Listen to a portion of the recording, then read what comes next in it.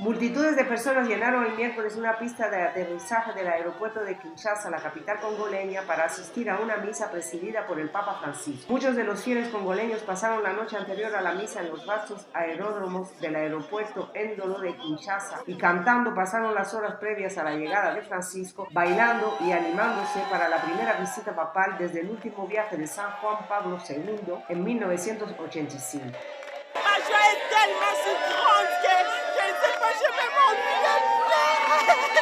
Mi alegría es tan grande que creo que voy a llorar. Es tan maravilloso que el Papa haya venido a visitarnos y significará la reconciliación para nuestro país.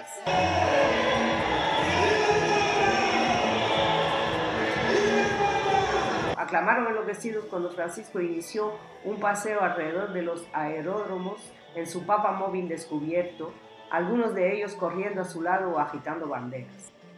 Muchos asistentes manifestaron el significado que podría tener para su país la visita del Papa.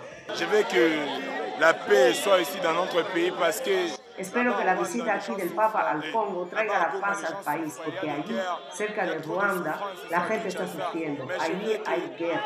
Aquí en Kinshasa también hay mucho sufrimiento. Pero espero que la visita del Papa traiga la paz a nuestro país. La visita del Papa Francisco al Congo es parte de un viaje de seis días que también le llevará a Sudán del Sur. Anna García, Associated Press.